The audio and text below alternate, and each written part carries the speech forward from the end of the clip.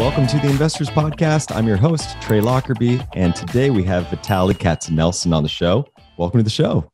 Trey, thank you very much. It's a pleasure. I'm a huge fan of the podcast, and you guys do a, a phenomenal job, really. Well, I'm I'm honored because I think you just told me this is sort of the first interview kicking off your new book launch, and uh, we're going to talk a lot about that new book. I'm really uh, impressed with the, the topics covered in it and it's refreshing and it speaks a lot to me and my background and we're just going to have a lot to cover today. I'm really excited about it. This is this is great. Looking forward to it. Okay so before we really dig into the book in your career you've seen a couple of these bear markets. You saw the dot-com crash you saw the gfc where the market kind of grinded 50% lower. In both in both instances it kind of grinded about 50% lower roughly. So let's just take 2009 and thinking about where the market was around $1500 a share for the S&P 500 at that time. Thinking about it being at 5 or near 5000 like 10 years later probably just felt inconceivable. And so right now we're seeing the S&P down about 14% from its high. That's the actual historical average for a correction. So i'm kind of curious how you're feeling about today's markets. Are we is there some number in the future that we can't even conceive of at right now? Are you finding that there should be uh, more pain ahead? Um, well, this is a great question. So when I look at this market, the market that looks very similar to is the kind of 1999, 2000, 2001 correction. And if you think about what happened in 99, you basically had already kind of uh, like the, the technology stocks and dot com stocks were already going up for many, many years, for, for, for maybe three or four years. So the market was already expensive. On top of that, you had this Y2K scare where everybody was concerned that if you take mainframes, they, that the old mainframes, once the clock switches from 1900 to 2000s, they're going to go back to 1900.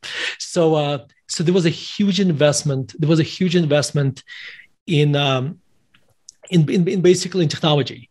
But the, the, the problem is that the investment did not just apply to mainframes; it also applied to all you know to all technology, right? So Dell's and Cisco's and Microsoft's the demand for their products was just off the chart, you know, and uh, but then 2000 came and kind of the world kept going, and these companies discovered like I'm talking about right now Cisco, Dell, Microsoft, those are very good, solid companies.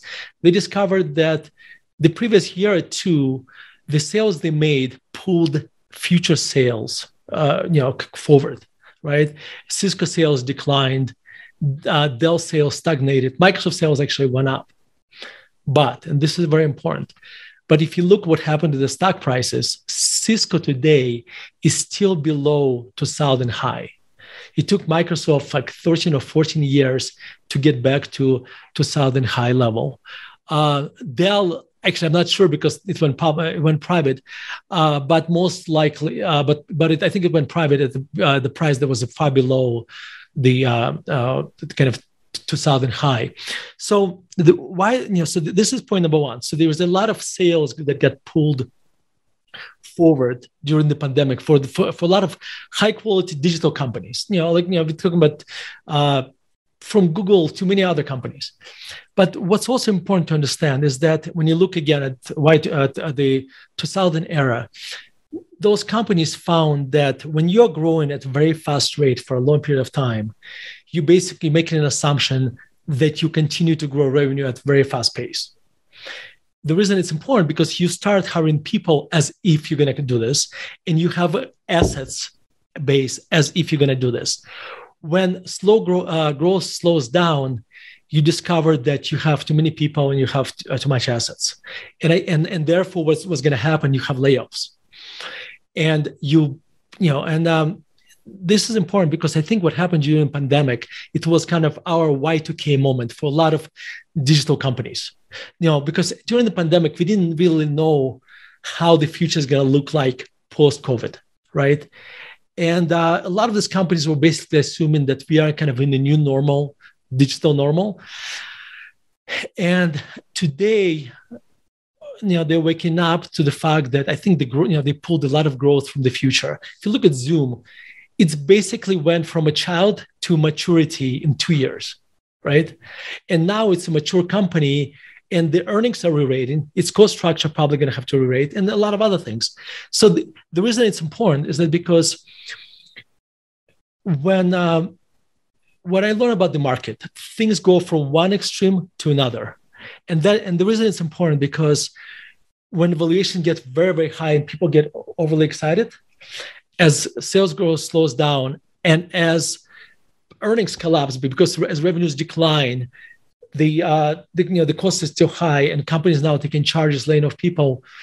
What's probably going to happen is that, and this is what happened in 2001, 2002 the, the companies went from being loved to being hated and completely abandoned. And you could have picked up Amazon and some other high quality companies for 90% cheaper than they were at the top. And I so when I look at the market today and I look at the you know darlings of yesterday, you know that were too expensive for value investors like me, I think we'll get, we'll get to the point where they will become cheap enough. You know that we're not there yet. And uh, so I'm kind of looking through Cathie Wood's uh, ARK and kind of ma- taking mental notes of companies I'd like to own that are good businesses and trying to figure out how much I want to pay for them. So this is this is kind of on the kind of on the dot-com 2.0 bubble. Um, then the other thing that's going on in the economy today is obviously we have this significant inflation, and we already had inflation before the war in Ukraine, and I think the war in Ukraine basically just added a lot more oil to the fire and um, we, uh, I think we're going to have a they you know, and they basically inflate additional in the, that additional fuel coming from several sources. Number one, Russia and, uh, and Belarus or Belarus are the second and third largest exporters of uh, fertilizer, you know, uh, potash, and uh, and also so the so the fertilizer prices are up significantly. The potash prices are up significantly. Also, nitrogen fertilizer is basically derived from natural gas, and natural gas prices are up again because of the war. Um, or, and so, I you know what's what's what's going to happen over the next couple of years, or next year at least, we're going to see most likely the cost of food will go up tremendously, just because fertilizer is is, is the kind of the it's the lowest layer. It's the most important input into uh, into food prices, and so you're going to have lower yields because you know, farmers will be more stingy with fertilizers. Uh, they're going to have to raise prices for corn, for anything, and so so you're going to have food inflation. Uh, now you also have a you know we're going to have oil prices higher, natural gas prices higher. Also, as interest rates go up, and this is this point is very important as the housing price, you know, the, the housing prices went up tremendously. And as interest rates go up, their impact on housing is going to be significant. Let me give you an example. Average in the median house in the United States costs about four hundred fifty thousand dollars. As a thirty-year mortgage goes from two point eight percent to five point two, that difference is about seven thousand dollars more a year of interest payments. Wow that is basically if a median income in the United States household income is about sixty-five thousand dollars, that's a that's a more than ten percent of median income is going to be consumed by, uh, you know, just basically, you know, in other words, think about this: the house you were going to buy hasn't changed. You just have to pay for that, you know, you know, seven thousand dollars more in interest payments. So that's another, you know, that's another source um, of inflation and uh, and and on top of everything else, if you know if you were going to buy a car, the car that car now is going to be you know and you're going to finance it. That car now became more expensive. So what we are looking at, you know, what we're looking at is consumer has been attacked. You know, consumer has a limited budget, right? And consumer has been attacked from different directions. Now, spending, spending more money on food, on gasoline, on heating, on on on, on you know if you know on on basically cost of financing now is, is you know is higher so so when we look at the economy today i think there's a very good chance that what's happening may may, may turn the uh, may basically it's very stagflationary this inflation will you know turn stagflationary i don't know if it's going to send us into a recession or maybe we're already in a recession uh, but I know this is not good for the economy. So from as a stock picker, you know, we basically, you know, what my company does, we build a portfolio of individual stocks. We have basically shifted portfolio from discretionary spending. You know, so we have very little exposure to stocks that rely on the discretionary spending from consumers because I think that's going to be the biggest, the area that will be attacked the most.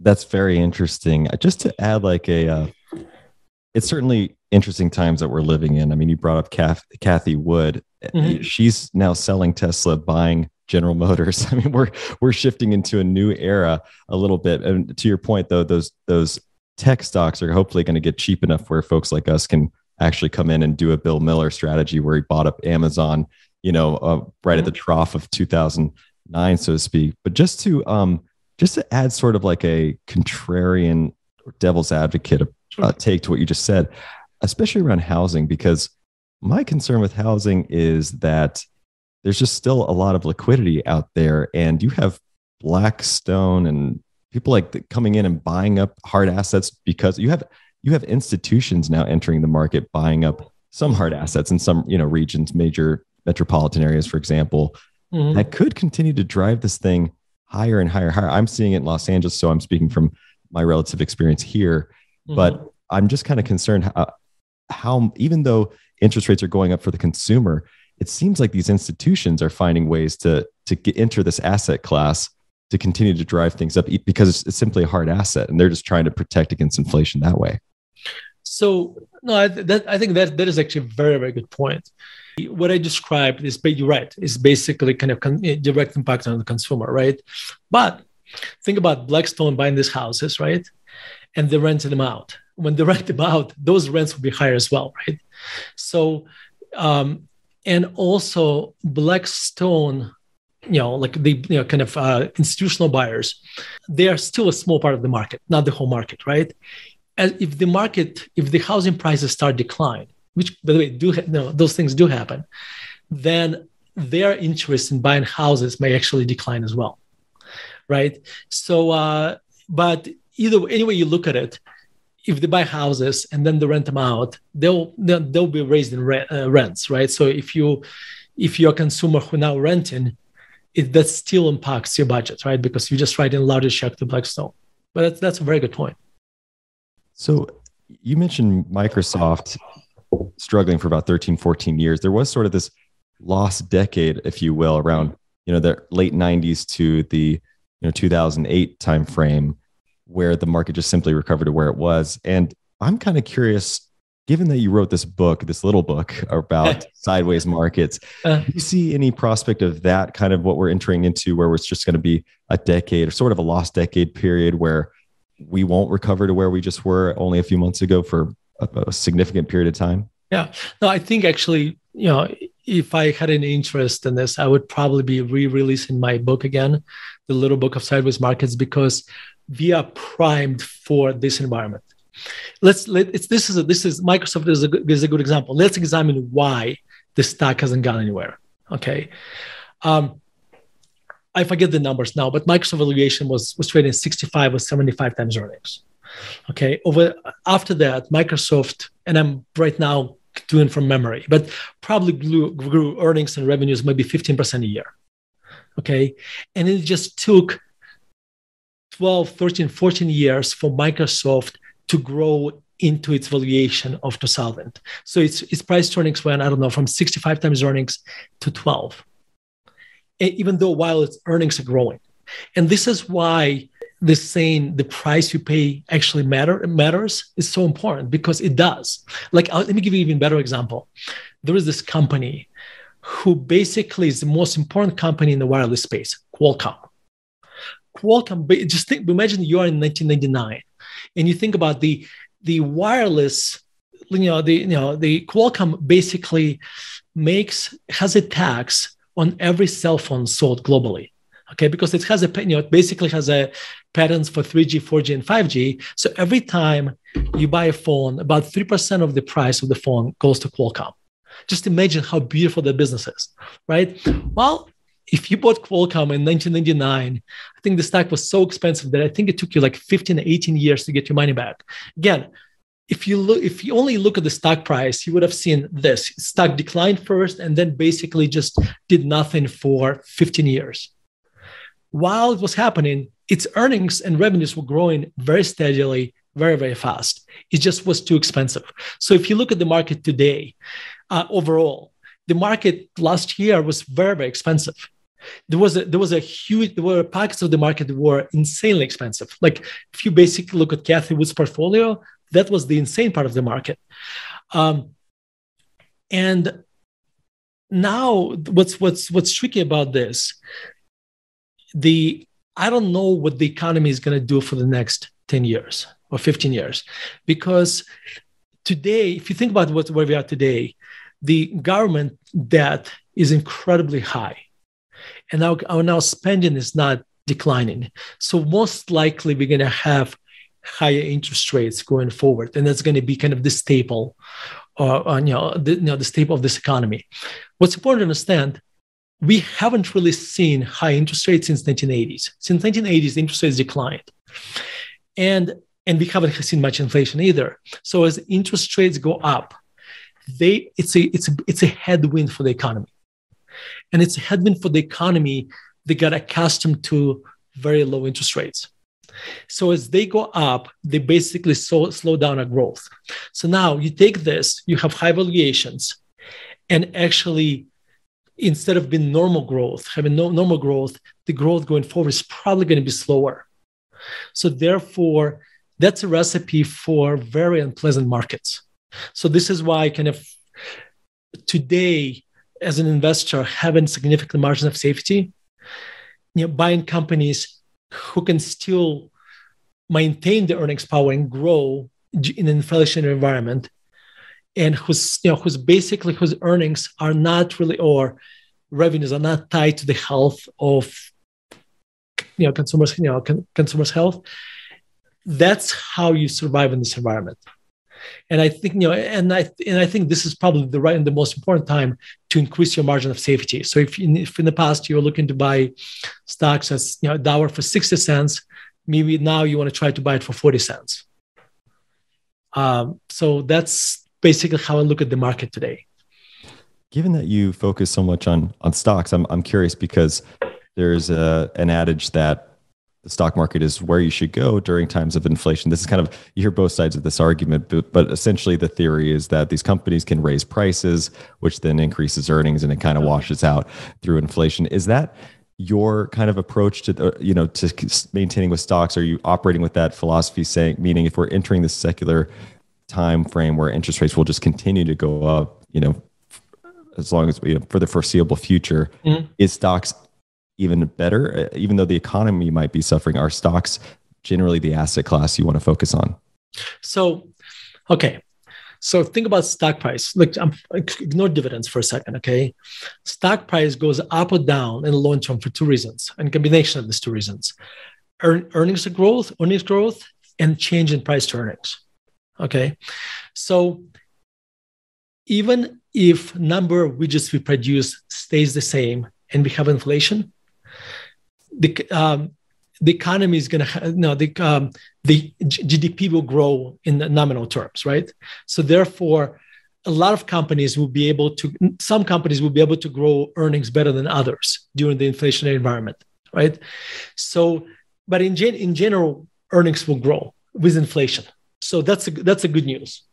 The bad news is that the price to earnings, which is still very high, will contract because when your interest rates are low, you're discount, discounting the future at low interest rates. When you have high inflation and high interest rates, the future is a lot less is a lot less exciting. You know, at this high interest rates. So you, it's a combination of two things. Nominal. So the the inflation is good for nominal. So stocks will benefit because in general companies will be able to raise prices and it's going to show up in their nominal earnings. But price earnings will decline which will wash away some of the gains you get you know from earnings growth so this is why it's kind of a tricky environment and, then you want to own companies that have pricing power not no like as, as an example if you are a retailer that has exposed to a lot of discretionary spending you will be the casualty of inflation because consumers will have less money to spend at your stores if you're a grocery retailer, you're probably going to be okay. As, as an example, right? Like Warren Buffett, uh, like when somebody asks them, what are the best, um, uh, what are the, the best tax to own during the inflation environment? He said, you want to own a claim on somebody else's revenues. Just think about this. I'll give you a couple examples. And I'm not saying those are good stocks. I'm just giving examples of businesses. Uh, they think of McDonald's. They collect uh, franchise fees from their franchisees. As franchisees' revenues go up, McDonald's costs don't change as much, but the that whatever five or seven percent they charge, that nominal number goes up. Another one would be let's say Mastercard or Visa, right? Again, it's a claim they collect I don't know 50 you know 50 basis points or one percent of every transaction, right? As the dollar volume goes up, just because of inflation, if, even if we don't produce more widgets, their revenue goes up, even though they have a much you know the costs don't go up as much. Um, so you have, but in other words, so the let me give a couple examples of companies we own. So we own comp- pipelines.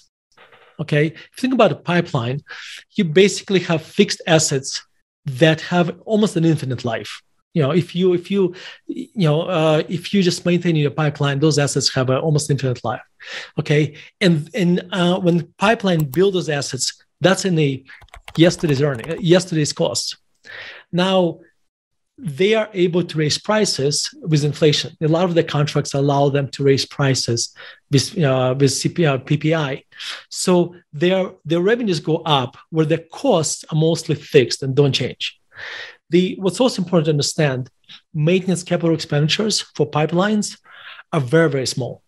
And th- this is a, like when you look at the business, when you look at the business, you want to look how much uh, maintenance capital expenditures they have in relation to the assets in case of pipelines, those those maintenance capital expenditures. I'll give an example. Um, we own enterprise products, which has about eight billion dollars uh, operating cash flows.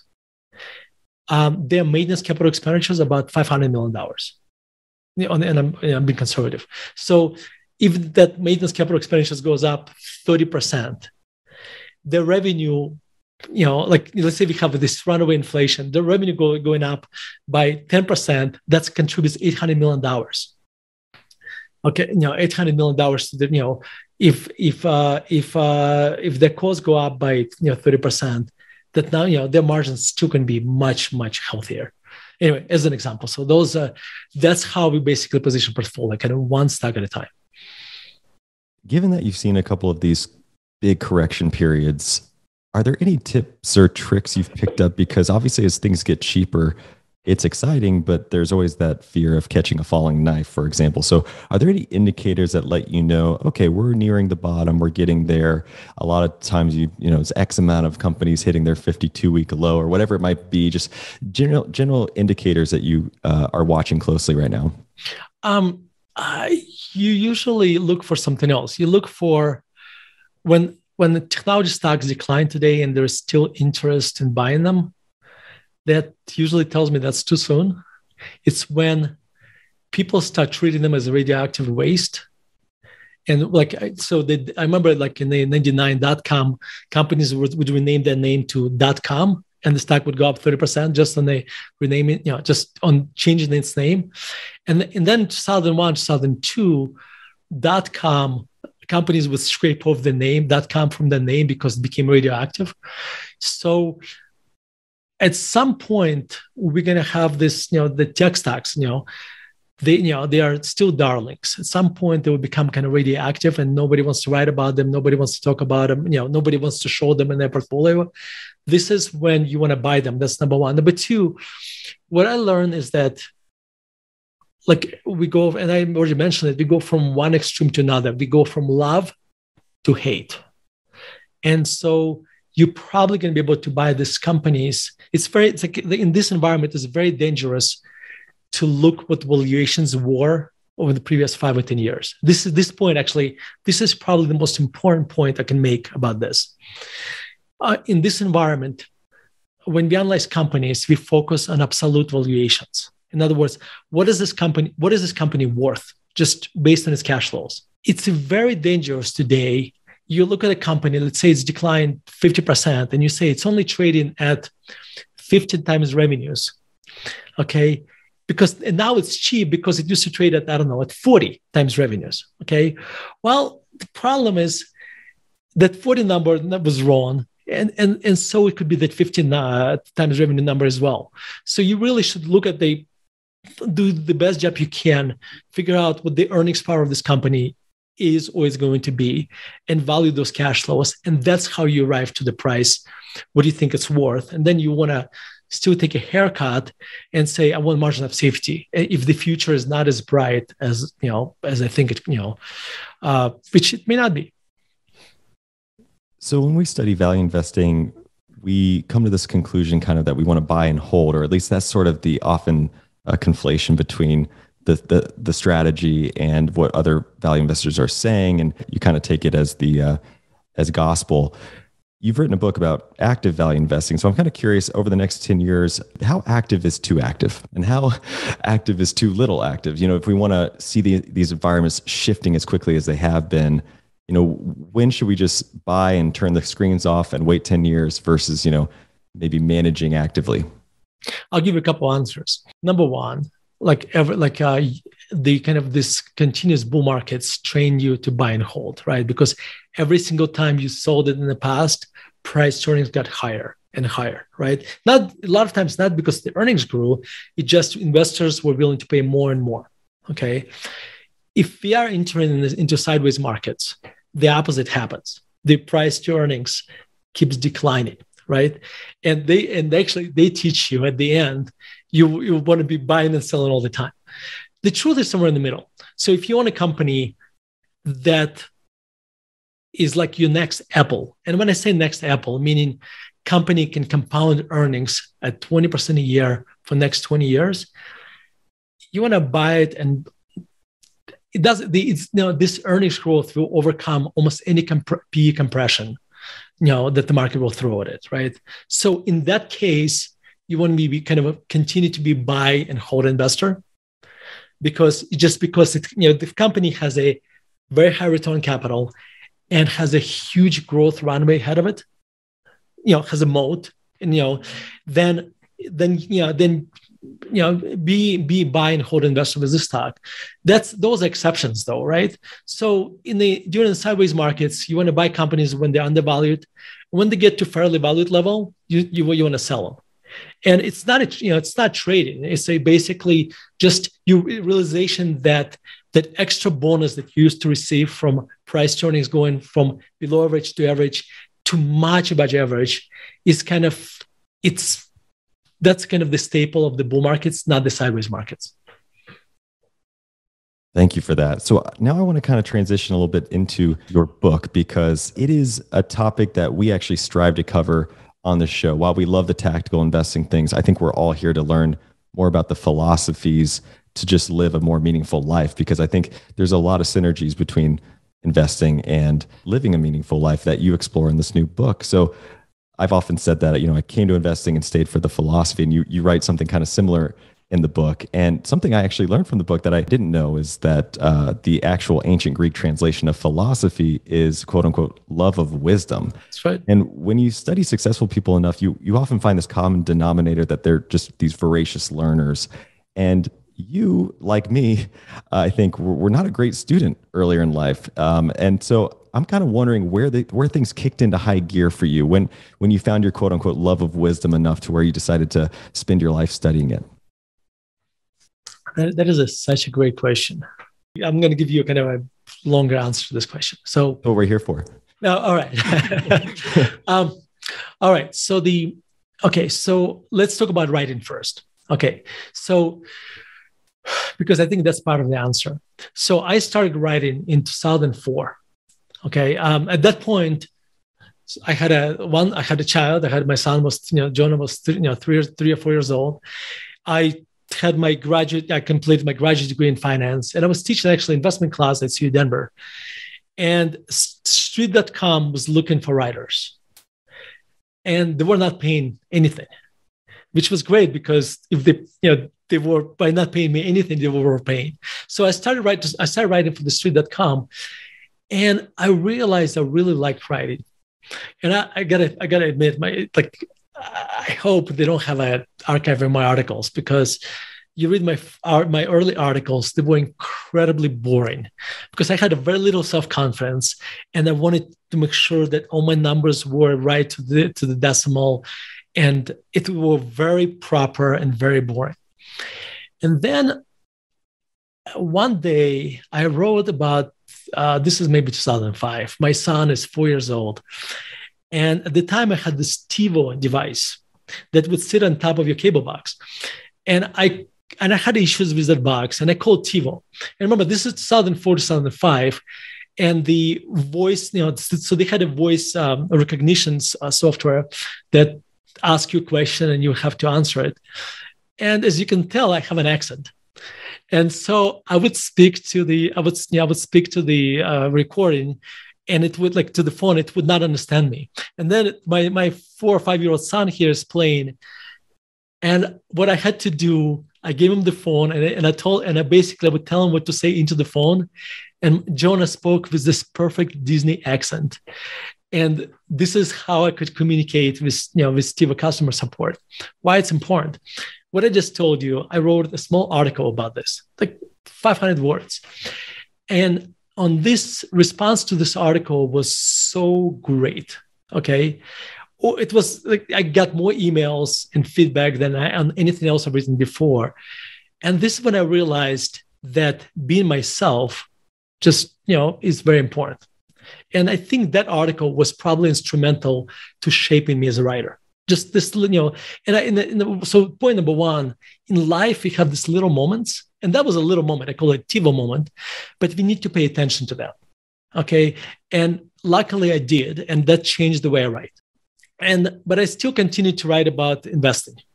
And um, I would, yeah, I would write you know, about investing, and uh, and my articles would be published in Financial Times, you know, institutional investor, and I would send them to my friends. And when I was sending to my friends, I would also write something about uh, my personal life. And then as my as my email list grew, as my you know email subscribers, you number email subscribers grew, it wasn't just my friends who were receiving my articles, you know, and uh, my you know my personal notes, and people start to tell me that they came to to me for the articles, for the investment articles, but they stayed for the personal stories. And what changed with me is this: I writing basically forces you to think a lot more. Because it's it's almost like a it's a focused thinking. Think about it. I wake up every day at five o'clock for 35 o'clock and i write for two hours. That is a two hours of concentrated thinking. And most of us don't like a lot of people don't have that luxury and therefore they just don't get to spend much time thinking about things. So that you know that basically turned me into a thinker and uh, you know, and therefore, and over time, I started to write about, you know, and I also love classical music, and you and I share interest in music. And uh, what I learned is this: if I write about this, this is my, this is, this gives me an opportunity to learn more. And also, and this is another thing to understand: you write daily. Part of you becomes like you, you become a writer Okay. So I always, I again, if someone, somebody says, what do you do for a living? If I don't want to tell them, talk about stock market, I tell them I'm a writer, but I'm not, you know, but my day, my daily job is not a writer. I'm an investor, right? However, since I write daily, part of me is a writer. And why it's important because as a writer, you always look for stories. As a writer, you look at life differently. So my father paints, and you know, and I, you can see the paintings behind me. Those are my father's paintings. Um, and whenever we would travel on vacation, my father would always kind of put his hands up like this and always look for something to paint. This is what he, you know, this is what painters do. They look for what they want to paint. As a writer, you always look for stories. So writing, you know, so I wrote about, you know, first about investing, then about life, then about classical music. And when I started to write more about classical music, they changed what I read you know, now I start to read more about classical music. So to, to answer your very short question, how did I become a kind of a student of life, basically? I think writing basically turned me into what I am today.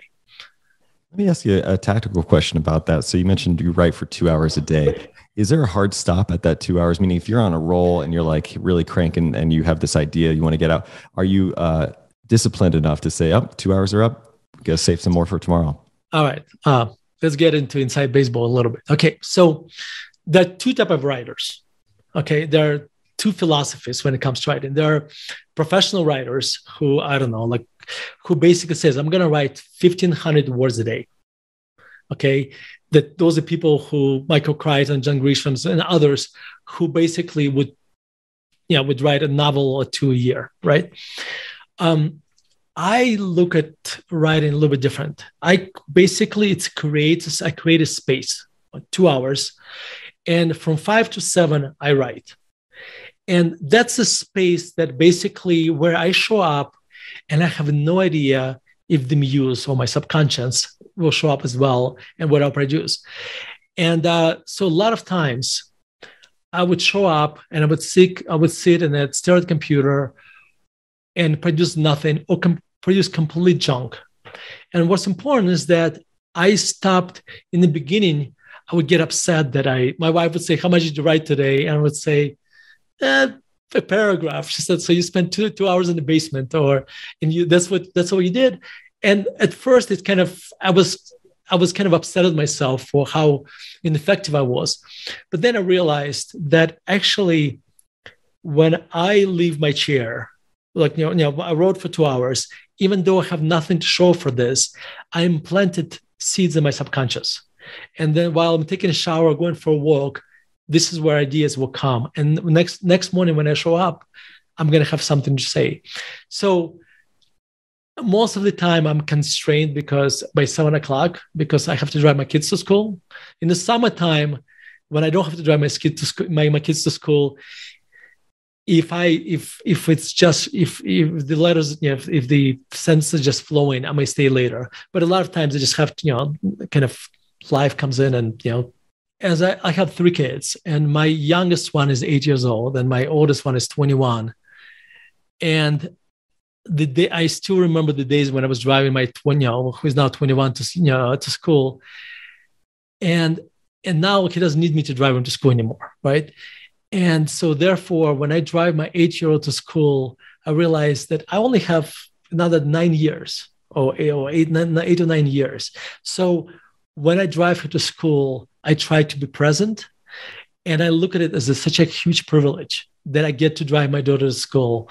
And so this is why, so I don't look at seven o'clock as, oh, I have to drive my, my daughter to school and therefore I can't try it. Actually, I look at it as a, as a good thing. I look at it as a, I get to spend, you know, uh, the 20 minutes in the car with my eight year old reframing. Well we're going to talk about that as well. So moment the reason i asked about the two hours was uh, i remember i heard seinfeld talking about his process and he he had a hard stop and he said it's because what you highlighted earlier that it's hard work. Like i've been wanting to put a journaling process in the morning that i just can't because i'm like oh I, I, too you know sounds like too much work. It is hard work. So he, he kind of compared it to going to see a trainer and saying you know how long is the session? And the trainer being like it's undefined you know like you have to you, no he's like no you have to have a 30 minute you know time limit on it to to point. get through it. So i'm just kind of curious how you uh, developed that. So it's really interesting that you you brought it up uh, with this you almost have this like positive thing to look forward to at the end of it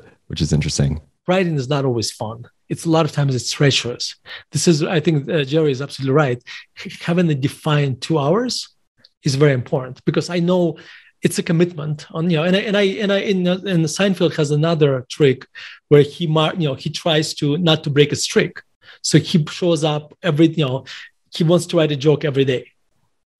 So I write with you know with few exceptions every single day. Like when I go on vacation and I travel things get complicated.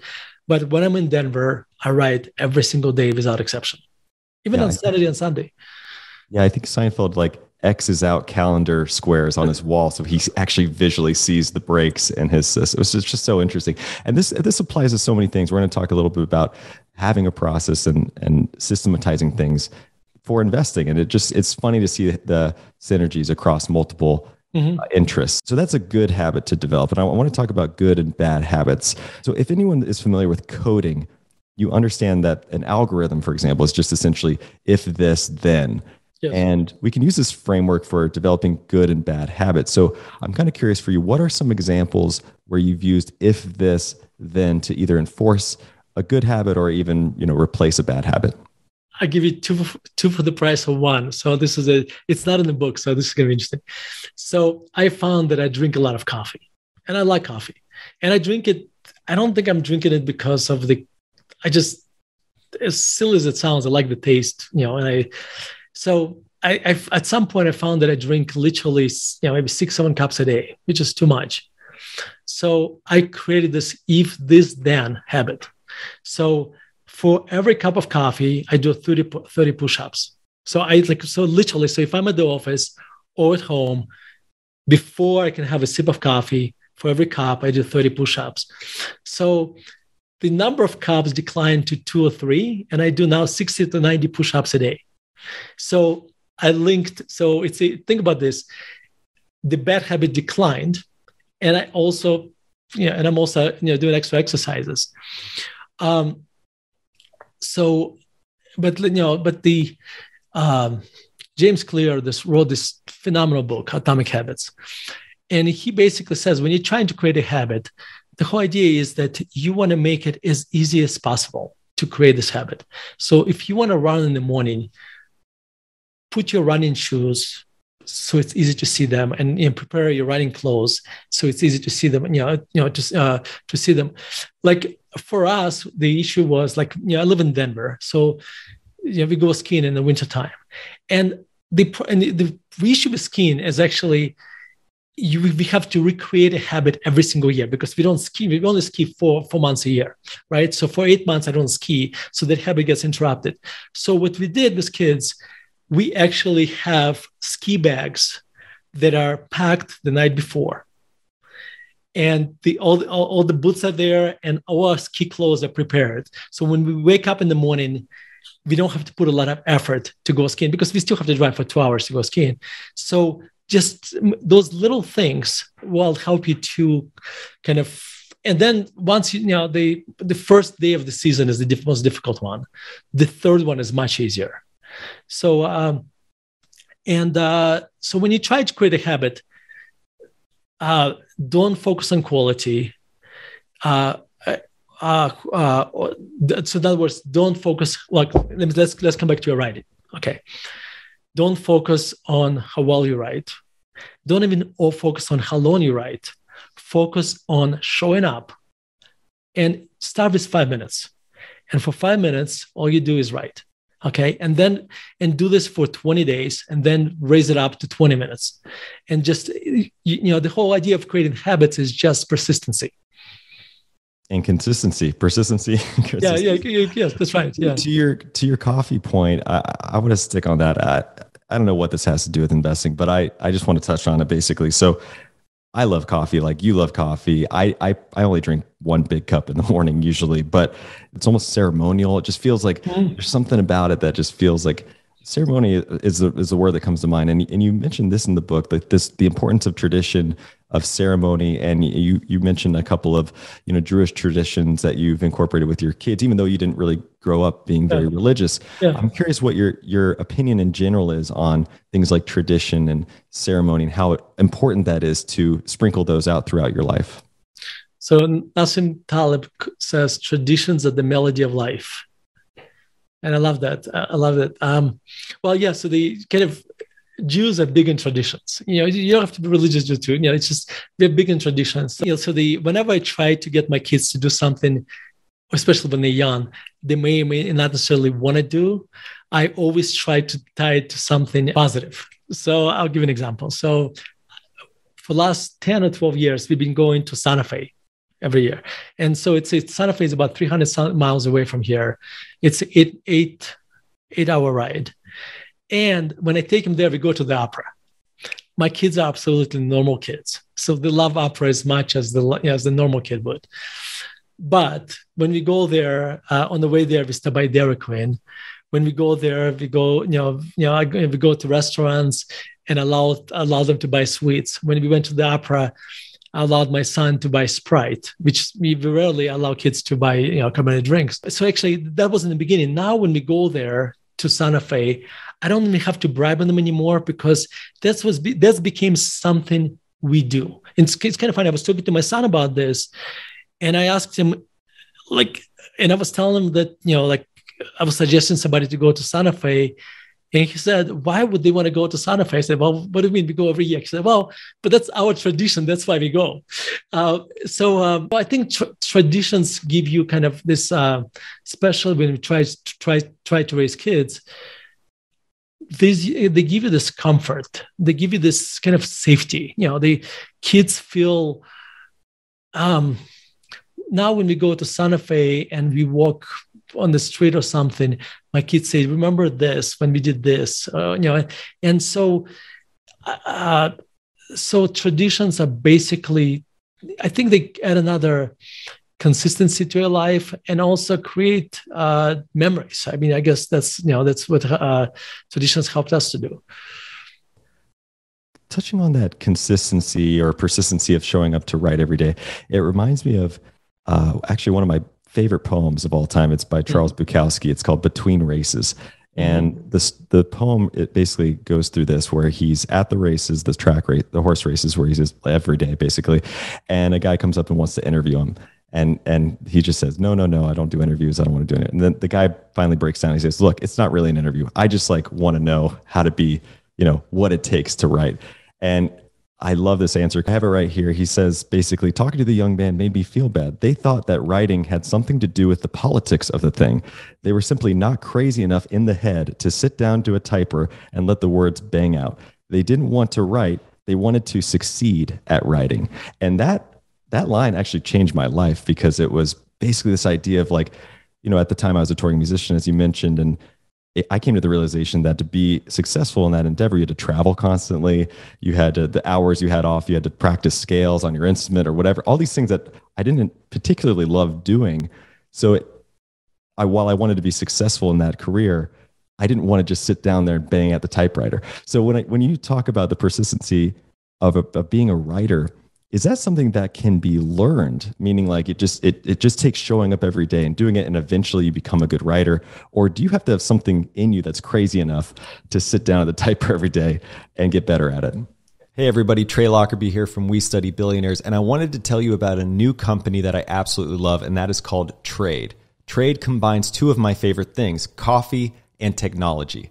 So what you do is you go to drinktrade.com. There's a super simple survey that you take, and then it tells you which coffee they're going to send you that you are literally guaranteed to love. Meaning, if you don't love it, they'll send you a new bag of coffee for free. And from there, you can keep experimenting so you're not falling into the same rut of drinking the same coffee over and over and over again. There are so many different types of roasters, levels of roast, beans from different parts of the world. There's plenty to nerd out on here. So why not be adventurous and try some new stuff? After I took the quiz, they sent me a bag from Sightglass Coffee in Northern California, and it's literally my favorite coffee of all time. Normally, I've been drinking a coffee where I have to sweeten it with honey and almond milk, but this coffee, I could actually drink it black. It was so delicious just on its own. And right now, Trade is offering subscribers a total of $30 off your first order plus free shipping when you go to drinktrade.com slash TIP or click the link in the description below. That's more than 40 cups of coffee for free. Get started by taking the quiz at drinktrade.com slash TIP and let trade find the perfect coffee for you. That's drinktrade.com slash TIP for $30 off. That is a, such a great question. Um, I'll give you a couple answers because I'm, I'm just thinking about speaking. Uh, so, number one, the Epictetus uh, has this saying if you want to be a writer, write. Okay, so showing up is very, very important. Okay, a lot of times we think that as a muse, like waiting for the muse. Okay, in other words, we think when, when the muse comes to me, when inspiration comes, then I'll write. Well, that's not how it works. You show up and then you try to write, and then inspiration comes. The act of showing up is that that's what creates inspiration. Uh, but then another answer is like I don't like working out. I really don't. Like I let me tell you how much I don't like working out. I have a trainer. Just think how ridiculous this sounds. I pay a guy show up twice a week, and he basically tells me, directs me what to do. Okay, and like I'm an intelligent person, and I maybe maybe I needed him for the first five five you know, five lessons. Okay, but the fact that I have an appointment twice a week, that it's on my it's my it's on my calendar as any other appointment, which I never break, if, unless I'm traveling. That really how much I hate. That's how much I hate working out. But he's there, and and because he's there, I, that's why I keep this appointment. And the only reason I'm doing this because I know as I get older, if I want to stay healthy, I need to work out. Now, the happiness in life comes from having good problems. If you liked to be the musician, but you didn't want to have the problems that come with being musicians, musician, then that really you you would have liked to be a musician without really doing all the suffering that it takes. So I really love writing. Okay. I don't love it every day, you know, and uh, some days I love it more than others, but I, I'm willing to suffer, you know, for writing. I, I love music and I would like to play piano, for instance, but I'm not willing. And actually, I tried and I failed miserably. More importantly, I was not willing to suffer you know to play piano so happiness in life comes from having good problems so you really have to be passionate about something you know then then it's going to become a good problem. That's you know that's yeah. I don't know if it's a very long-winded answer but that's that's all i got. So talking about suffering a little bit, that might be a good segue to lead into Stoicism in, in a sense, because that is sort of the idea of reframing suffering to a degree. I actually had this idea reading your book. I was thinking um, Stoicism is kind of like downside protection if you compare it to investing, right? You're kind of just trying to eliminate the downside protection. So there's an entire section in the book dedicated to Stoicism. So walk us through your discovery of Stoicism and, and why you're so drawn to the philosophy. So you know, it's kind of interesting. I've been, you know, I've been reading a lot of, been stumbling on a lot of quotes by Epictetus or Marcus Aurelius or Seneca, and they always sounded very, very smart. And then I read this book called The Art of Good Life by uh, William Irvine. And by the way, it's a phenomenal book. And if you guys pick, if you pick up this book and you're new to Stoicism, skip the first three chapters because it's a you know it's a it's a lot about it's a, it's about uh, history, different philosophies, and go to chapter four. I think this is where he starts talking about Stoic philosophy. You can come back to the first three chapters later, but if you start with chapter four, I think it's going to make sure that you can you're going to complete the book. Um, but what really got uh, got me into Stoicism is one quote by Epictetus, and which sounds so banal and so plain, but it was an aha moment for me. And the quote is very simple. It says, Some things are up to us, they're internal. Some things are not up to us, they're external.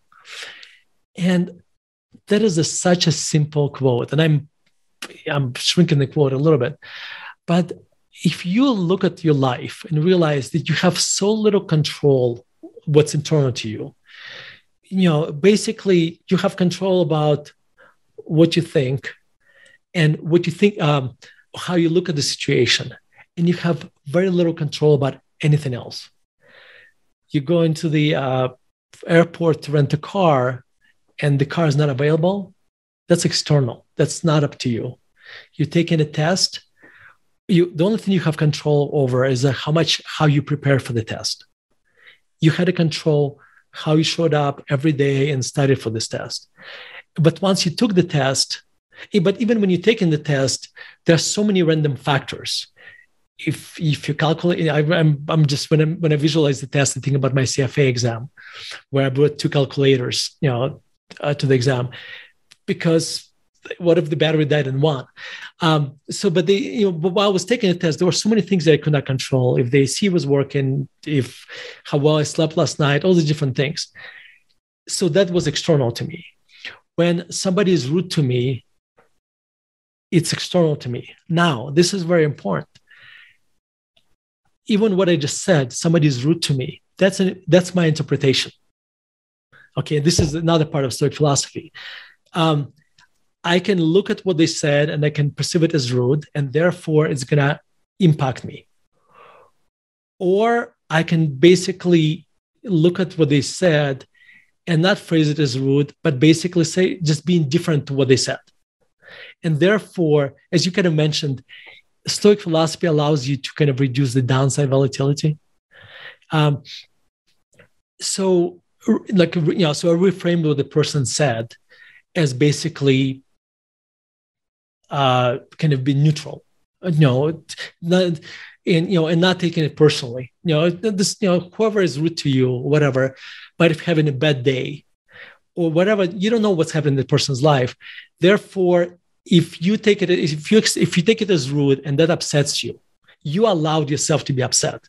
That's internal. Again, see, what they do is external. How you perceive it is internal to you. This is where you talk about reframing. That's what reframing comes in, right? You basically look what happens to you and then you reframe it in a way that it doesn't hurt you. Yeah, there's this uh, quote actually by Mike Tyson I came across once where he basically said, "I once used to get mad at people until I figured out that if they if I get mad at them, then they own me." And I just thought that was like so encompassing of of this philosophy in particular. Yeah, I think the I forget one of the the uh, Seneca Epictetus said or something along the lines that you would not allow a person to come to a house and trash it but by reacting what the person says you basically allow them to get into your mind and do whatever they want in your mind right? So that's you know that's the same concept yes. You kind of mentioned this idea with externals or in, and internals. Um, you, you referenced the buffett quote about you know a scorecard. I think a lot of our listeners will be familiar with that. But I, I also came across this quote uh, recently. I just ho- overheard someone say it. They're like, "You just have you have to control the controllables," and I just thought that was like almost bumper sticker esque, yeah. you know, but uh, sim- simple enough for me to remember it. And I, I thought that was really cool. You know, you do touch on Seneca and and I I came across Seneca really in my my early twenties. I I think during my like search for enlightenment that I think a lot of young guys have that uh, certain experience uh, in your early 20s. And I I've kind of come to think that the word enlightenment uh, can be defined by this this idea, which is essentially you can't believe everything you think. So you you almost have to get this out of body uh, look at yourself and your thoughts and analyze them objectively.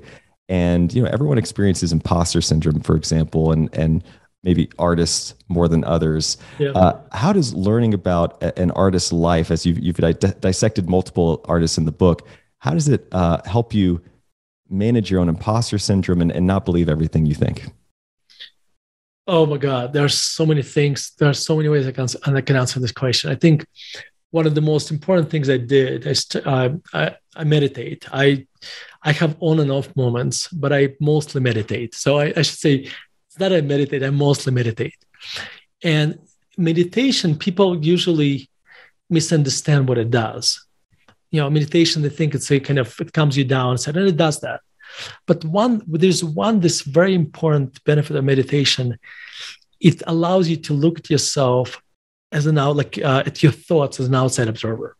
So in other words when a thought comes to you you actually be able to kind of look outside this thought and observe that this you know you know that um, that you have this thought. The reason it's important because that gives you self-awareness and mindfulness.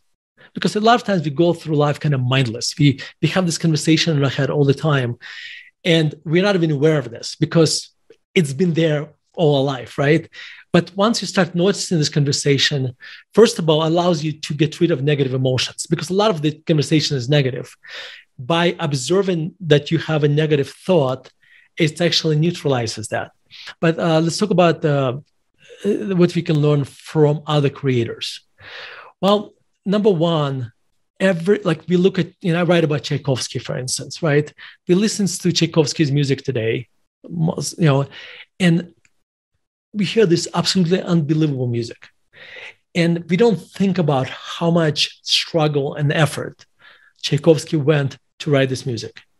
Okay, and um, every every creative person you know struggles to become good or to create or to create something that's worth listening to or worth looking at and in the beginning they were not good and they kept doing it and kept failing getting better and better and better and um, the the you mentioned the imposter syndrome just let me just let me paint this picture to you.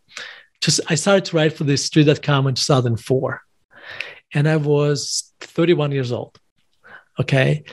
And a year later, you know, after being you know, writing for the street.com for a year, I decided I want to write for Financial Times. Just it's like it's like going from my minor leagues to it's like it's going to high school baseball to uh, to playing for Yankees. So luckily, I had so little self awareness at the time that because I like you know because I did not deserve to write for Financial Times, but I behaved as as if if if I did. And after reading a few articles, that gave me confidence to keep doing this. So the imposter syndrome is basically is is the difference from where we are today, where we think we are today. Uh, there was a saying, "Fake until you fake it till you make it," and it's not really about deceiving others. It's about deceiving yourself. It's actually creating self confidence for yourself to to doing what you think you don't deserve to be doing. Uh, so uh, you know, and think about just to make things even more interesting. I wrote my first book, Active Value Investing. I started working on it in 2005. Again, like maybe three or four months after I started writing for Financial Times. Um, again, like I'm looking backwards and I'm so thankful that I was clueless. Uh, because today I would not, you know, today probably more self-aware person of myself uh, probably would not be able to do this. You know, uh, anyway. Well, you, that, I want to stick on that topic of deceiving yourself because when you when you think about stoicism, uh, often people just think, oh, these are like emotionless people that uh, you know have something, some maybe neurological difference in their brain, and they just can't feel emotions, and that's maybe what makes them a great investor, for example, because you have to weather all of these different environments where things might be going against you, and that well, the way you described it in, in the in the book is is really this uh, this beautiful way of of reframing it as, as we've talked about. So you need a little bit of stoicism to weather these different environments, but you can potentially overdo it. So what I'm talking about is essentially say we saw a lot of Warren Buffett on the show, for example, yeah. and you mentioned the snowball in the book and how they how he's described and and that to some degree feels like stoicism at its absolute uh, maximum or the, the farthest end of the spectrum. Why would investors, maybe for for this on this topic in particular, not want to be Warren Buffett? Okay, so two answers. Number one, just because a thought entered your mind doesn't mean it's the right thought. Okay, so framing it the right way is extremely important. Okay, so here's an example: when the stock price declines thirty percent, you can frame it differently you can frame it as, oh my God, my portfolio over the stock price declined by 30%. Or you can look at it as that at this point in time, it's, it's an opinion that took it down 30%. So the, so the question you should ask, you should really ask yourself, what is the fair value of the company? What is, you know, so the, the stock is down 30%. So what? That, that's an opinion. That's will change. It's the value. You know, has anything changed? You know, what the question should be asking: Has anything happened to companies' earnings, cash flows? You know, has the value changed? So that's point number one. Another thing about Warren Buffett, um, when I read Snowball, um, which is a great book about Warren Buffett, what I really like, I, I read it when my, my kids were still very young and i'm so lucky that i did. Because what i saw what, what i saw there is the buffett i don't want to become. Because warren buffett basically had a, such a great dedication to investing that it took over his whole life his whole personal life he's you know he spent very little time with his kids. He neglected his wife. And i'm not judging it. I'm just that was the interpretation. That that's what i learned from the book. Because you can look at somebody you know you can look at the somebody could be nobody's perfect. There was warren buffett had a, such a great positive impact on me as a hero. But this part of his life he was my kind of anti-hero. Okay? And what i realized that i may be able to be more successful than buffett you know because i'm going to have a better relationship with my kids. I'm going to spend more time with them. And that was a that that book was probably one of the most important books I read in my life, you know, at that point in time because I actually realized that time is fleeing, and if I and I need to make so what happens to investors, not just Buffett, to everybody, like investing is almost like a drug. And you, if you if you have a passion and you love doing this, like if you don't put rail, kind of guardrails, you oh, I'll be spending 24 hours a day doing investing. And by doing this, I will neglect people I love, my kids, my wife, my relatives. So I always have in the back on the back of my mind that my kids will not be young forever. And that if I, you know, if I don't spend time with them now, when I wake up, they'll be much older. They'll be different people. I, I can't go back and redo it because again, my kids they'll grow up and I, it's kind of interesting. I look at the videos of my of my daughter when you know, like my middle daughter when she was six or eight years old, and part of me vaguely remembers her being that age, because you know they grow up slowly, and uh, and then you remember them when they were now maybe a year ago, but I but I also have a good feeling that they know that I've spent time with them, my you know, and uh, that that's very important to me. It's very important for my kids um, so I, I wrote about it. I wrote on the subject before, even before the book, and my son knew about this. Uh, and um, when he was going to college, uh, was you know when he was going to college, um, um, he no he was uh, um, he was going to go on a trip to Israel in his gap year, and uh, before we, you know, before he left for Israel, he wanted us to exchange notes. You know, uh, us, you know, he would he write us a note, and we would write him a note, and we would read it after, you know, he gets on a plane. And uh, I remember the note he wrote to me, and he said um, that I was always after I read Buffett's book, I was always concerned that I'm not spending enough time with him. And he said, "Dad, don't worry you've been a great father and you always spend enough time with me i always i i never felt neglected by you those, those probably the most important note i've got in my life um, but so that's that's what i you know that's what i learned uh, from snowball i guess yeah you touched on Buffett and his craft, right? He's sitting in his office studying investing, like focused on his craft. And that is like very admirable to your point. And even though we might be able to overdo it. There's a lot in your book about sort of art meets craft, you know, having soul in the game. All these things kind of calculate to having a meaningful life. You, you mentioned Jiro from the sushi restaurant in Japan, spending 80 plus years perfecting sushi. And I, have seen the documentary actually, and I, there's a part where they, the understudies have to make rice for like 20 years before he lets them like do anything else. It, it's that extreme. And I'm kind of curious that while there's a lot of things to admire about someone who is so uh, focused on their craft. Those guardrails you mentioned, I'm kind of curious eh, um, how you go about implementing those so that you that you know where the boundaries are, where you're focusing enough time here or there. So a couple things. Um, I drive my kids to school most of the time, so that's one. That starts in the morning.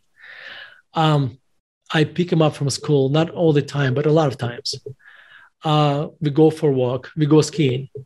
Um, uh, then there's a there's a saying that attention is a currency of time.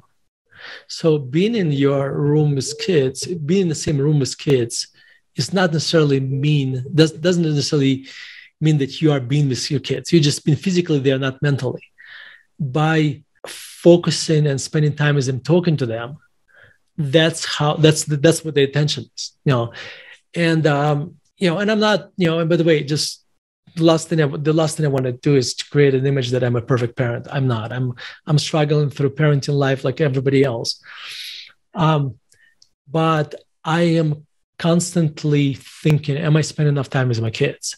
And when i feel that uh the work takes over my you know it takes over my life and it just kind of pushes out everything else i stop and i have a luxury of kind of the irony of this i have a luxury of working as much as little as i work you know as i want because i run the firm so i can you know create my own schedule.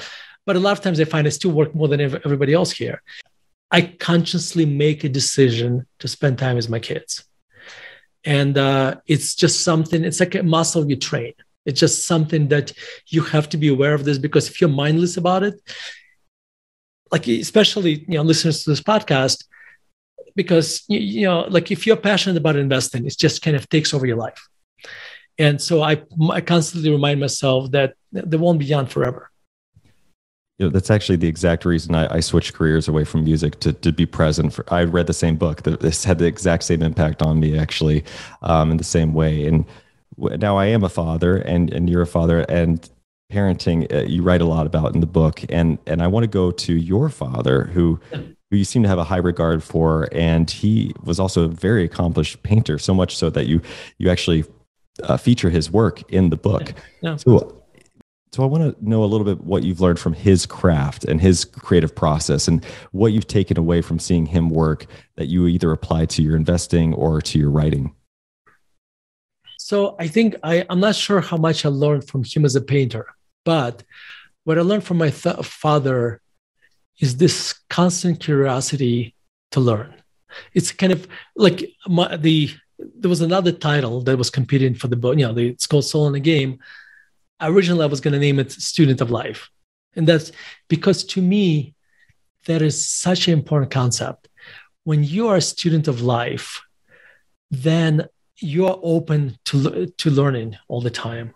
Uh, I'll give you an example. Um, if you play chess and you lose, you can get upset about it, or you can reframe it as again, coming back to reframing, is that part of learning is losing. Okay. And uh, so my father, when he was, he painted since he was seven years old, and he was, he's incredibly accomplished painter, artist. Um, when he was 60 something years old, he discovered that in Denver, there's this uh, very accomplished, terrific artist. His name is Kim English, who did this wonderful pastels. My father, 60, I don't know, maybe 65 years old, this very accomplished artist enrolls in the master class of Kim English to learn about uh, pastels. He had zero ego, you know, because he, you know, he finds he finds joy in learning, and um, that is probably the most important thing I learned from my father is that just constantly be learning. By the way, um, in investing, let's come back to investing. If you feel that you you finally arrived and you learned and you know everything, you're so dangerous. Because your ego right now you basically your ego is as uh, you have this god complex and your ego is makes you very very dangerous. That means you're going to lose a lot of money at some point. If you are constantly willing if you are a student of life and you're constantly willing to learn and change your mind because being a student of life allows you also to change your mind because you're still learning. Um, that is incredibly important. Uh, so anyway, so this, you know, what I learned from my father is kind of being a student of life. So that kind of takes me to the the next part of the book, which is around classical composers. So you actually are a big fan of classical music, and I really enjoyed this part of the book, particularly probably for obvious reasons. But I've never been a classical music fan. I mean, I appreciate it, but I wouldn't say it's like what I go to to listen to, mainly because as you, you put in the book, it quote unquote takes work, much like writing, as we talked about earlier. But what are some of, of reasons our listeners should invest in learning about classical music and p- specifically the composers behind the work? Well, I think first of all, they should listen to classical music because it's so beautiful. Um, I have this website, uh, myfavoriteclassical.com, where I actually share my my favorite uh, cl- uh, classical music clips and writings about classical music. And I think there's a if this source website, I think uh, I created a play playlist. Uh, I call it Gateway Drug to Classical Music. So that I just I found the recording like the pieces that they are the most easiest. They require the least amount of work for you to listen to and to fall in love with classical music. So I think the reason you want to read about them, because like as I mentioned, Tchaikovsky, uh, creative process, just anything creative comes with its own sense of difficulties. And I'll, I'll give a couple stories. Um, so in uh, eight, in early 1800s, in I think 18, I forget the years now, 1815, 1820, forget the year, Beethoven was the biggest composer of the West, like bigger than any other composer. And in fact, when he wrote his Ninth Symphony, somebody said, This is the day the music died because you can't write anything better than this. This is the top of music. So and Beethoven had a very interesting impact on other composers. I would argue that he actually set back, you know, set music back many years because he everybody looked at him. Every there was so many composers in his shadows that a lot of them stopped composing. Other ones composed but never published it. Uh, like there was a there was a composer that lived in Vienna, uh, probably not that far away from Beethoven at the time, Franz Schubert, and he wrote 6,000 pieces of music throughout his life. And he, young, he died when he, when he was very young, I think in his early 30s. And most of it will never get published because he was in a Beethoven shadow. Uh, because he was like, how could I possibly publish this when I just heard you know, Beethoven's Seventh Symphony? And the irony of this, today we listen to Schubert, and in Beethoven at the same time, and we don't say this one is, you know, Beethoven is better than Schubert. They're they're both beautiful, just differently. You know, you know, music is a, it's a, it's not math. You know, it's a. Some people love Beethoven. Actually, I lo- personally, I like Schubert's music more than I like Beethoven's music. You know, this just me. That's me personally. So uh, let's apply this to investing. Who is the Beethoven of investing? Warren Buffett. Like I'll give an example. So for a long time, Buffett remember Buffett used to say that he doesn't invest in technology stocks because he doesn't understand technology. I remember so many value investors who said, "I don't buy technology because I don't understand technology." Well, Buffett was at the time was 85 years old, and they were 25 years old. You know, maybe they should understand technology.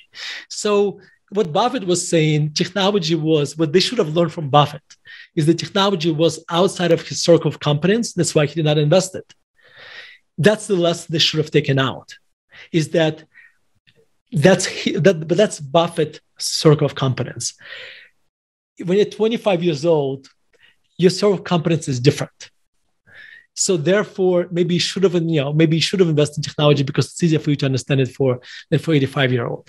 Um, let me give you another example. Um, there was this another uh, composer, Berlioz, who wrote, uh, who never got classical training in as a composer. He started, you know, studying music when he was 12 or 13 years old.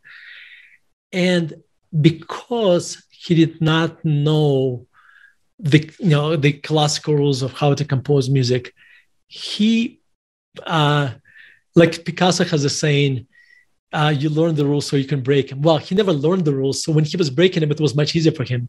So a lot of times, a lot of times we get exposed to dogma of, and that actually um, reduces our creativity.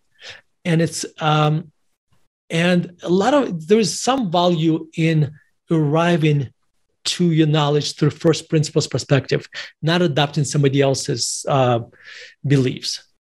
Um, so uh, there is a terrific investor uh, in Switzerland, uh, uh Robert uh, and uh, and I we had a dinner with him, and I told him, you know, because Rob, Rob never got a classical classical education in value investing. So I told him, "You're like Berlioz. Uh, uh, you did not know the rules we were breaking when you started investing." So another thing you can learn from you know from uh, classical music composers like you know, if you're a creative person, is that as I was mentioned that to create anything worth listening or watching or hearing, uh, you need to. It's it's a it's a painful creativity by definition is a is is a is a uh, to to do this. You need to go through a certain amount of suffering because creativity, you know, uh, uh, suffering is almost like uh, as a part of anything creative. When you work in a construction site and you are there with a stop sign, you know, when it's stop and go, that there is very little creativity in this, very little suffering. Okay. When you when, when you when you write in the book, when you write in an article, when you write music, that process is never linear and never pain free and all the all, all those composers went went through their own version of suffering to create this you know to create this music. And um and as investors and this is i guess you know this how can bring into investing you cannot be in a stock market and not expect that you're going to have positive years all the time that you're going to go through investing uh, without achieving any, you know, kind of experience any kind of pain. And that's, you should be, uh, that is a good problem. Like if you love investing, that is part of the course. That's, you know, that you, there'll be time when you'll be very upset where you'll be making, and I, by the way, in the chapter, there's a book, uh, there's in the book, there's a chapter called Pain Upfront Investing, where I discuss basically a very period, a very painful period of, of 2015, you know, as, as an investor. And I wrote this in 2016. Uh, I wrote this chapter in 2016, and I, and it was so painful and it was so embarrassing at the time for me that I just wrote it and never published it. And I finally, you know, uh, six years later, six or seven years later, it was easier for me to publish it in a book. And I think that chapter, if you are um, as you and I are talking, the like you know a lot of Nasdaq stocks are down a bunch, and I have a lot of friends who are terrific investors who are struggling right now, and I would really encourage them to read this chapter because I think you know I try to bring like uh, explain what I went through and how you could apply Stoic philosophy to this experience and how it could actually reduce your pain. Uh, anyway, so I'm very long answer to your question. What what you just said kind of reminded me of this quote. It's attributed to William Faulkner a lot. I think it's older actually, but it's this idea of killing your darlings. It's sort of a lit, uh, literary term um, where and I'm, I'm curious to know if you've experienced this as a writer because what you were saying about buffett not understanding technology well he then went on to buy apple. It was like one of the greatest trades of all time. And so you know this is someone killing their darling so to speak. So something that was pre- this this idea that's precious to them ultimately breaking that rule. It's it, it's kind of aligned with you know strong opinions loosely held or something if you will. Just yeah. expanding your learning um, things that you hold precious uh, just understanding when it makes sense to uh, disregard that. And, and I'm kind of curious if this ties into a, another point you were making where uh, the best I can describe it is I was at the Van Gogh Museum uh, in Amsterdam once, and you see his early works of landscapes, and they're like some of the most incredible landscape paintings you've ever seen. And and this they're like kind of by the book in a way, like they're very like I think technique wise, like I'm, I'm not an artist, so I can't speak like you can, but they're just unbelievable. And then you go look at his later work and it looks nothing remotely like it. It's sort of like he learned the rules and then decided to break them. He sort of killed his darlings, if you will. Do you, do you feel like this is a, uh, a theme that can be applied to investing in the same way? Uh, well, first of all, that Van Gogh Museum is my favorite museum in the world. I've been there, I think, two or three times, and I, I absolutely love that museum. Um, and you are right. When I, I think Jim O'Shaughnessy and I kind of uh, discussed this on Twitter about this. You see it Van Gogh's early paintings, and they're absolutely phenomenal. They're very traditional, they're but you know, but they're phenomenal. Now, they if that's all he ever painted, we probably would never know about him, right? Because they are not they're very very good, but they're very similar to everybody uh, to everybody else, and through iteration and discover, you know, kind of Van Gogh probably discovered his style. That's when you see Van Gogh painting today, you know it's Van Gogh, right? You know, the, his later paintings. Um, like I think the mistake people make is that when we look at other people, we should learn not what they think, but how they think. It's a, in a sense, like when, like I gave you, like when you talk about Apple, right? We should learn from Buffett not that you should not buy technology, not what he thinks, but how he thinks. And I'm not, well, that I'm not going to buy technology because at this point in time, it's outside of my core competence. But Buffett had, um, there is this um, terrific uh, writer, Ben Thompson, who writes Stratechery.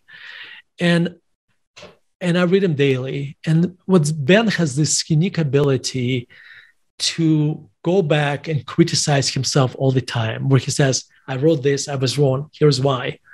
Because that is the only way to learn. It's a great, uh, I think it's a Kahneman quote where he said something along the lines that it's a great day where I learned something new, what was wrong before, some, some, something along these lines, right? Because there is a Seneca has this quote which basically sums it up time discovers truth. You can apply it to anything and you can apply it to investing. Because think about it, as investors, we want to discover what the company is worth before time discovers it, right? Therefore, it's not about us trying to reinforce our ego that I'm always right and I never make you know mistakes. It's really just it's a it's really investing is really kind of a quest for truth. In that quest, you want to you want to guess you know have strong ideas loosely held. In other words, if you had a belief and it was wrong, well, you dump that belief and you you have a new one. So yeah, that's kind of yeah. So that I guess sums up sort of my interpretation of this uh, equation you have in the book, which is essentially the, the equation for living a, a meaningful life is essentially art plus soul in the game equals meaningful life. So the art piece for me, what I'm taking away is sort of like, you know, discover your own style and these use these creative processes to inform different ways to approach both life and and investing plus soul in the game. So before we we take off, I want want to certainly make sure we cover what soul in the game means. What what how do you define soul in the game and putting those two together to get to a meaningful life? Yeah. Uh, so so first of all, we gotta uh, what is soul what is game, right? Well, game is something that um, you're truly passionate about, something where you uh, where it's a good problem for you. Okay, something you're willing to suffer for Okay. I mean, by the way, it's, it's, it's when I say suffer, it sounds kind of almost like I, I, feel like, you know, Jesus dying on the, on the cross. That's not what I mean. It just, when you, when you'll be doing you, when you'll be doing this, you know that there'll be times you're to love it. There'll be times where it's to be difficult and painful and you are fine going through these painful times. So that's, that's, that's, that's, that's the point I want to make there. Um, so what is soul?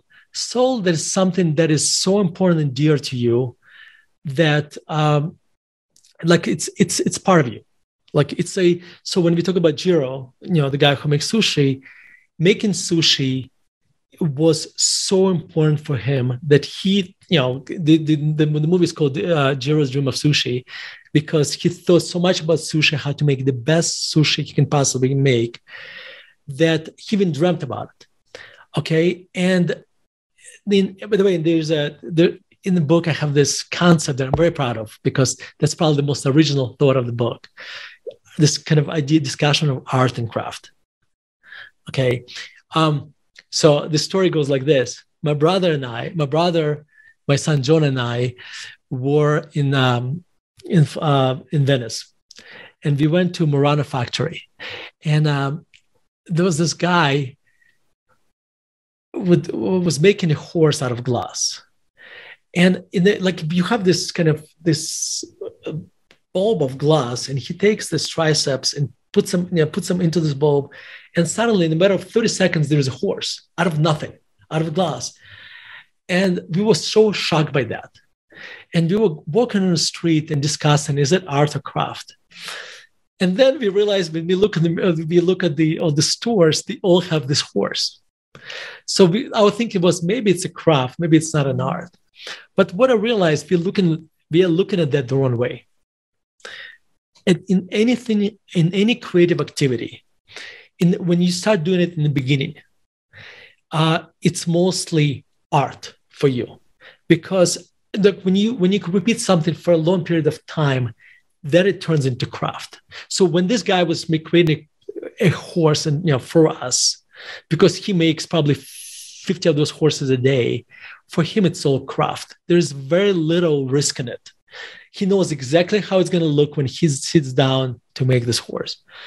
Um, when he started making in the beginning, for him, the ratio of art and craft was very different. It was mostly art and a little bit of craft. Uh, so in any activity, if we do it long enough, it's and just we do keep doing the same way, over time it starts being an art and becomes more and more craft. So it's up to us to change the activity a little bit. So let's apply to investing if all you do just imagine like this is uh, i'm going to describe a very pathetic existence if all you do invest in utility stocks that's all you do there's 10 50 i don't know 20 companies in the united states whatever that's all you do invest in those companies and you do it for 20 years it's going to be all craft no art Okay. So if you grow your circle of competence over time, then you introduce more and more art to it because there's more uncertainty. There's more things you don't know. Um, and in life, you want to maintain this very nice balance, especially in investing, between this you don't you you want to have a circle of competence so you know that you won't make mistakes. But if you stay in this circle of competence all the time, if you don't grow it, it's going to be very it's a uh, you're going to be very little craft, uh, very little art left in your life. So again, we keep coming back to Buffett, but Buffett buying Apple was him basically expanding his circle of competence. Coming back to soul in a game. So, so what is soul in a game? Um, I got the idea from Nassim Taleb uh, in his book Skin in the Game. So let's you know he you know he talked about skin in the game and soul in the game is the next iteration of that. Skin in the game basically, if I could put it simply, is that when you associate with people, you want to basically deal with people that not only have upside in your relationship with them, but also have a downside. So in other words, when um, when somebody invests with IMA, okay, um, you know, if I only charge him, you know, if you know, if if the only if this relationship is limited to the fact that I just charge charge fees, I have no skin in the game. The way I get skin in the game is that I own all my liquid net worth is basically invested in the same companies my clients do.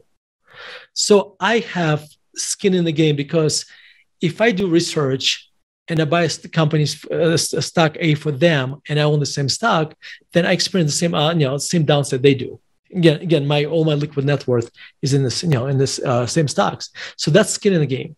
Soul in the game is kind of next elevation of this, where what you do is so dear to you, where money becomes secondary where it's a money is just a kind of byproduct it's a second derivative of what you do when you have skin in the game a soul in the game you would never do anything too um, unethical. You would not would never do anything that uh, would violate your principles. Uh, you when you have soul in the game, and I think i i keep thinking about the Jiro, you know, uh, Dream of Sushi guy, where all he thought was he had this incredible focus, and he just thought about sushi. You have this incredible. So when you have soul in the game, you're very focused on what you do.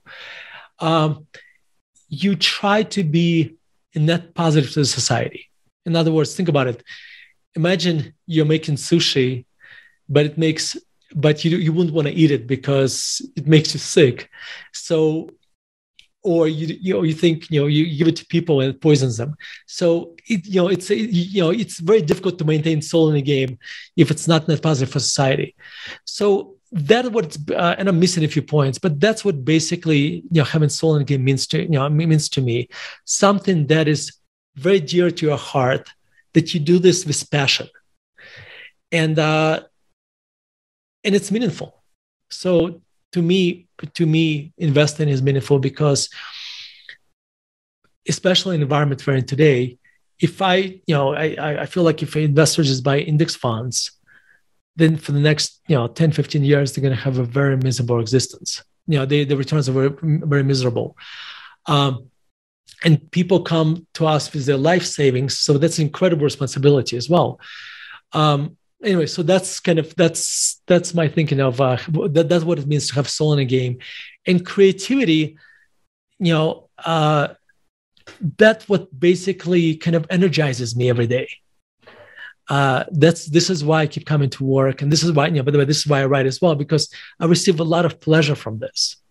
And if I was uh, like I in the book, I keep referring to uh, assembly line work and fiat as the kind of as the example of not having as having zero creativity, and and I to me that's you know like if I if that was my existence, I would be miserable you know, and having creativity in my life, that's actually that's what kind of recharges my batteries. It gives you a lot of pleasure and, and also a lot of pain, I imagine. But this this struggle, suffering element is important, and and this was such a great refresher for me, in particular, reading this book on especially the stoicism part, where this idea that you you you can't avoid pain in your life, you or in order to live a good life, it actually requires something painful or suffering that these dramatic words we're using, but to your point, it has to be this good problem to solve that you have to want to get up and go do every day. Um, there was that Viktor Frankl quote about needing pain. And so you look for good problems to solve. Putting all these pieces together, basically having the creative element, looking for that inspiration, not having the not being dissuaded by people like Buffett and Druckenmiller or whoever who has gone on to be these titans of industry. There's still opportunity to break some rules and create craft your own voice and be uh, you know create your own style and looking for things that are worthy of your time, worthy of the the suffering that might go into it, knowing that that's what's required to have pleasure. I don't have a meaningful life at the end of the day. Vitaliy, this was so insightful. I really love this book. I love the way you write. You you in, inject all this humor along the way. I, I, highly recommend people go pick up this book. It's called Soul in the Game. Uh, where can people find the book? Find you, find your writings, find your fund. Any other resources you want to share? Sure. So, well, they can buy. You know, they can find the book on Amazon or wherever the books are sold. However, if they go to soulinthegame.net and uh, there's a instructions there and they send us a receipt of the purchase in the book. We'll send them bonus chapter bonus chapters. So that's a soulinthegame.net um, they can find my writings on contrarianedge.com and they can subscribe to my articles. Also unlike you guys we have a poor man's podcast meaning that it's just basically my articles read to you by another fellow. So it's not a true podcast. Um, so if you like if you you know if you listen to this or watching this you must like uh, reading or listening more than like reading you know. Um, so you like listening or watching more than like reading. So investor.fm if you go there investor.fm then you can uh, subscribe to our podcasts. And just again just my articles read to you by uh, by professional reader so yeah Vitaliy, congratulations on the book. Um, really, really loved it. Really loved our conversation, and I appreciate it. Let's do it again. That's right. Thank you so much. It's a, it's a lot of fun, and uh, you guys, you do a phenomenal job. Thanks for watching. Make sure to subscribe and hit that notification bell so you don't miss out on the next podcast episode and new investing resources. What are your takeaways and thoughts on this discussion? Let us know in the comments section below.